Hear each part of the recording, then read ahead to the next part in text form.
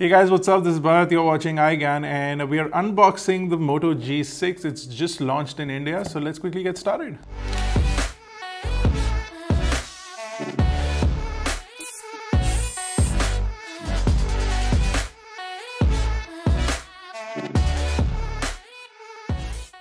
So Motorola has just launched the Moto G6 and we've got a pre-release Moto G6 device over here. So pricing and availability details and Everything else that you need to know, we leave a link in the description below, so go check it out.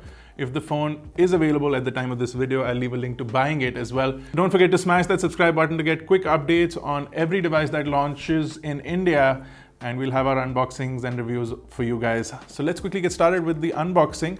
So as far as the box is concerned, we've seen Motorola boxes uh, that are quite identical. You do have uh, the Moto G6 branding on the right side some legal information on the left, specifications on the back. So it does say that it's a full HD plus display. That means it's an 18 to 9 aspect ratio.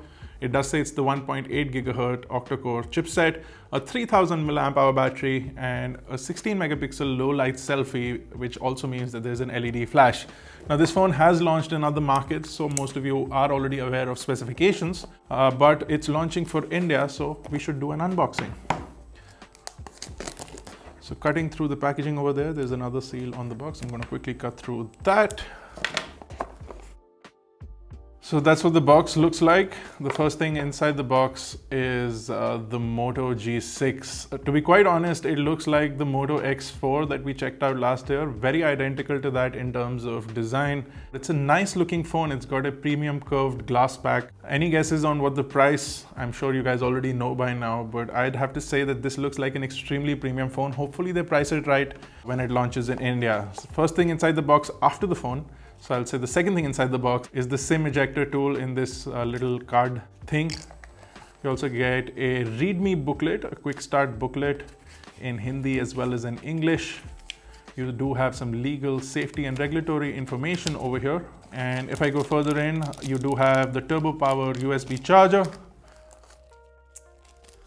Finally, flat style cable on the earphones and in-ear type earphones. They seem to be of a pretty decent quality. The rubber on the cables also seems nice and heavy duty. You do have a standard non-gold plated 3.5mm headphone jack and you do have additional ear tips, which is great. Finally, in these devices, we'll get to see good earphones. Also inside the box, a standard USB to USB Type-C cable, and that's everything. The phone does support turbo charging, so that's good. Let's take a look at the device. So uh, we've turned on the device. There are a few features that I want to talk about, but before I get into those, I'm going to quickly get rid of this front plastic and uh, do a quick one over with the device. So over at the front, you do have an LED flash on the right of the earpiece and a 16 megapixel front facing camera to the left of the earpiece. Below that, you do have a 5.7 inch display, an 18 is to 9 aspect ratio finally on Motorola devices, a 2160 by 1080p resolution, uh, which is fantastic. Below that, you see the Motorola logo and a long sort of cylindrical, rectangular, whatever you'd like to call it, fingerprint sensor along with a microphone which is front firing or front sensing. It's nice that they've used the bottom bezel and the top bezel for actual things versus just wasting the space at the bottom. Since the phone was without any charge. I had plugged it into the power bank. I'm just going to quickly remove it so that on the bottom you'll see the 3.5 mm headphone jack and the USB Type-C connector. I'm going to plug it back in. Over the right, you do have the power button. It's slightly textured, so you can make out the difference between uh, the power button and the volume buttons, which are just above the power button. On the top, you do have the SIM tray, which will take two SIM cards and one micro SD card. There's also a noise cancellation microphone, which appears to be on the top. There's nothing on the left completely clean and on the back are dual cameras. One is a 12 megapixel sensor while the other is a 5 megapixel depth sensor, something that we've seen from Motorola in the past. You see the ring around the camera, very iconic for Motorola. We saw this on the X4 as well. And you also have the LED flash diffuser just below it. The Motorola logo, there's no dimple, however. You do have a nice curved back on the back of the device, extremely fingerprint friendly. It's a fingerprint magnet. Even with this black color, you can see all these fingerprints.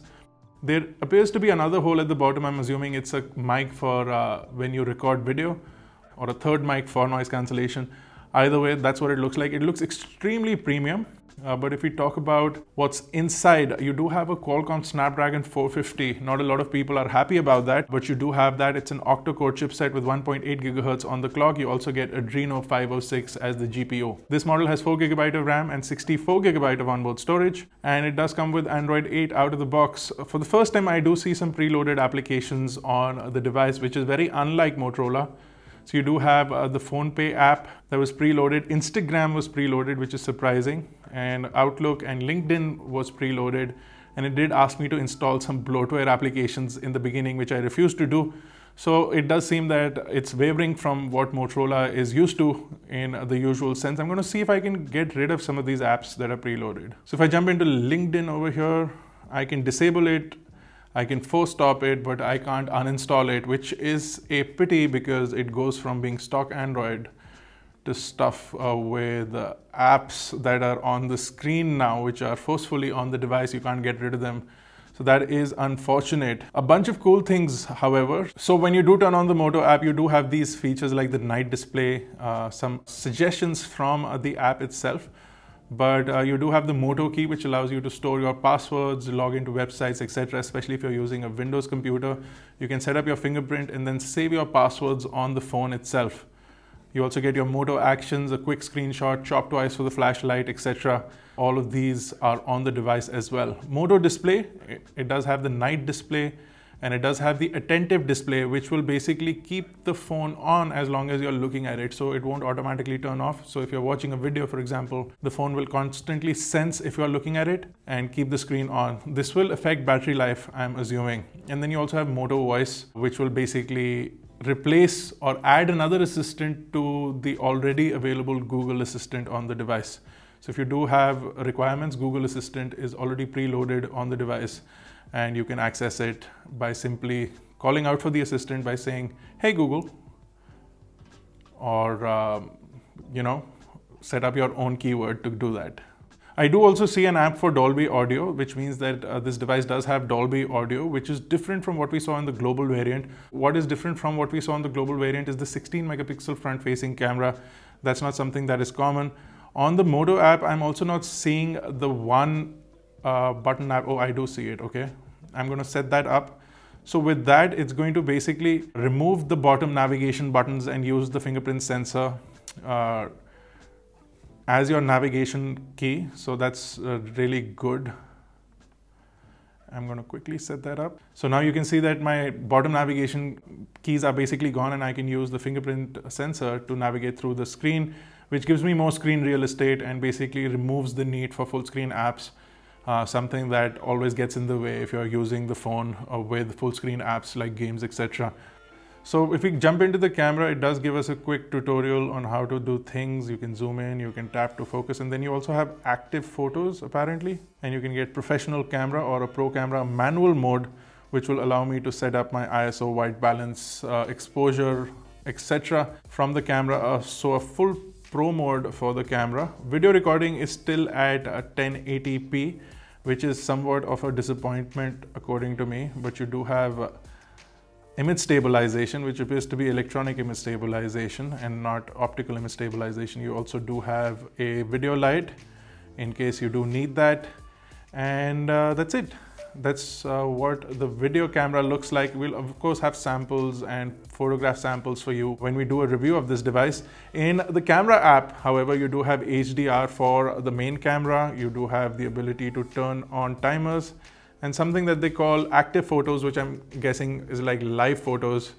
So let's see if I do object recognition, it'll also do object recognition, which is cool. So it's trying to recognize this object which is nice. So you can do object recognition as well, but let's see how live photos look. I'm assuming it stores a snippet of video as well. So if I turn on motion, so it does save a live photo as you can see over there. That's cool. Let's look at the front facing camera as well real quick. So the front facing camera does have the usual uh, features. Uh, I can see a face beauty mode or a manual beauty mode as well. Uh, I also have active photos on for the front. I'm wondering if there's a bokeh effect on the front like a depth effect. I don't see any option right now. But you do have a pro front facing camera which is nice so I can control my white balance, ISO, shutter speed etc on the front camera. I do have face filters, a group selfie mode, face filters. So it's like live filters we've seen on Samsung devices now also on Snapchat on Huawei devices. So this is also on Motorola. It seems to be quite accurate. In fact, it's uh, getting uh, the filter on my face quite well. So in photo modes, you also do have the portrait mode, but the portrait mode does not have a front-facing uh, camera option. So only the rear camera does have the portrait mode. But you do also have your other stuff uh, that you've seen in Motorola devices in the past. So you do have the cutout option. Uh, you can select the subject. You can also do a spot color. So if I just wanted to sort of pick red uh, from a photograph, you can click a photograph with just red selected, which looks nice. We had a couple of samples of these in uh, the Moto X4 video. We also have something called a text scanner, which will uh, pick up objects, text from your images, and it will basically then process your image and sort of save that text nicely and it works quite well according to what I see over here. So the phone also does have a face unlock feature. I want to set that up real quick. So I'll need to set up the fingerprint sensor to be able to do that. And of course I'm gonna put in my super secure pin code. So the fingerprint has been added. I can also lock the phone with the fingerprint sensor. If I hold on for too long, I pull up the Google Assistant, but if I hold on just enough, it'll lock the screen. And also I can quickly unlock it from here. I'm gonna jump back into the settings and show you that uh, also once you've set up your fingerprint, you'll be able to do uh, what is a face unlock so it'll also bypass the lock screen. If I unlock it, it's going to quickly jump into the phone itself. So that's cool. It works quite well actually. And uh, so it does have smart lock, which will allow you to do things like on body detection, trusted places, so geolocation or geofencing and trusted devices. So if you keep it close to another device, it will remain unlocked. So all of these things are uh, really cool. Of course, you can set them according to your requirements. Not extremely safe to have any of those features on, but it's definitely good for those people who know where their device is at all times. So they also have voice match. It'll also unlock your device uh, with your voice. So pretty cool looking device uh, from Motorola if uh, the pricing is right. It seems to be an extremely premium looking and feeling device. It's got stock Android. It does have a few bloatware apps, which I'm not extremely happy about. But all in all, it looks really good, feels really great. It's fast and responsive. Snapdragon 450, I don't know how I feel about that right now. Maybe I'll let you know in the full review. So if you like this quick unboxing, actually I don't think it was quick. So if you like this unboxing, don't forget to smash that like button, hit that subscribe button. If you're not already a part of Team iGyaan, hit that bell notification icon so that you get all the notifications. This is me, Bharat Nagpal. I'll see you guys in the next one. Thank you for watching.